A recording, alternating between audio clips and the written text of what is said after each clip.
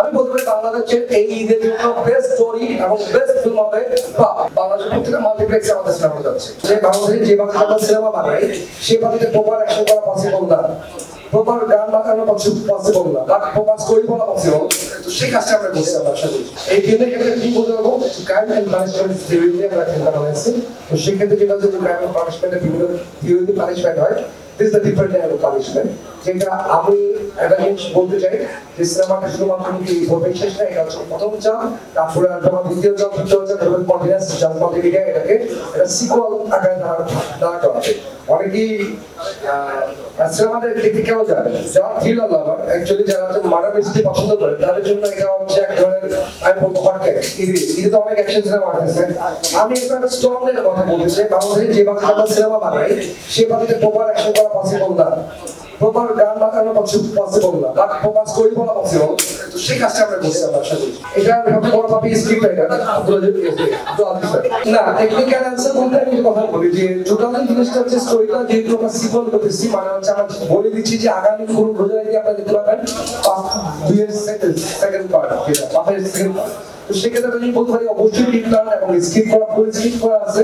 সেক্ষেত্রে বলি এটা একটা থাকে সামথিং ম্যাজিক্যাল কারণ না, এটা ভুল কথা। বাংলাদেশে যাদেরকে নিয়ে আসে, তারা স্টাফ আসে। মায়া থেকে শুরু করে, আপনি যদি দেখেন মাহি এভরিবডি স্টাফ তো যাদেরকে তাদের বল বল থেকে এগিয়ে আসে। আর এটা অবশ্যই জাস্ট একটা জিনিস খুব স্ট্রং আমি যদি হিসেবে বলি, আমার থেকে অন্যান্য বাংলাদেশের বর্তমানে অনেক ফেমাস রিভিউ জাস্ট থেকে।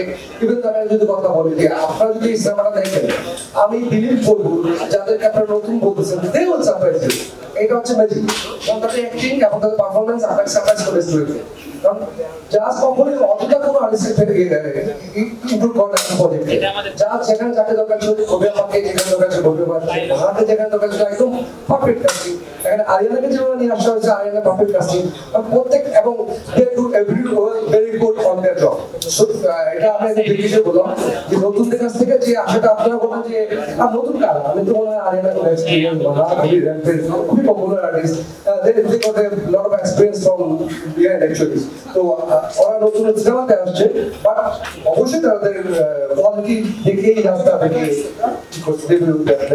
সিনেমার জন্য এই কাজটা তো ছিল এবং দরকার ছিল বলেই তারা আসছে।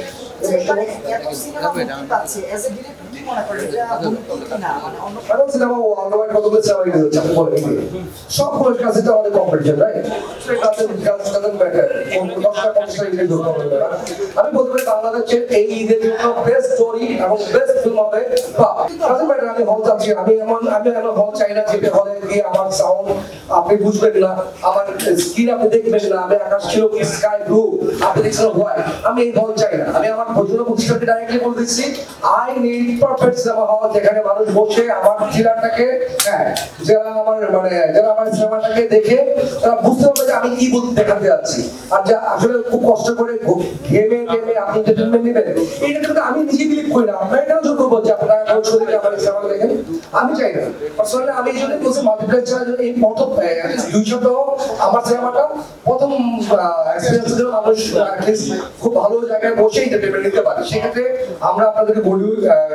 একটা গুড নিউজ দিচ্ছি, বাংলাদেশের প্রত্যেকটা মাল্টিপ্লেক্সে আমাদের সিনেমা যাচ্ছে প্রথম কারণ, জাত is a star brand second হচ্ছে আব্দুল এক্সপিরিয়েন্স আজকে বাংলাদেশ বাজারে যদি সিনেমাকে বলেন চেঞ্জ নিয়ে আসছে ডিজিটাল প্ল্যাটফর্মে সেটা, এবং কেউ অস্বীকার করতে পারবে না, ব্যক্তি আব্দুল আজিজের ভিতরে রাখতে পারে। বাট যাদের আব্দুল আজিজ যে কাজটা করছে ইন্ডাস্ট্রি ফিল্মের জন্য, এটা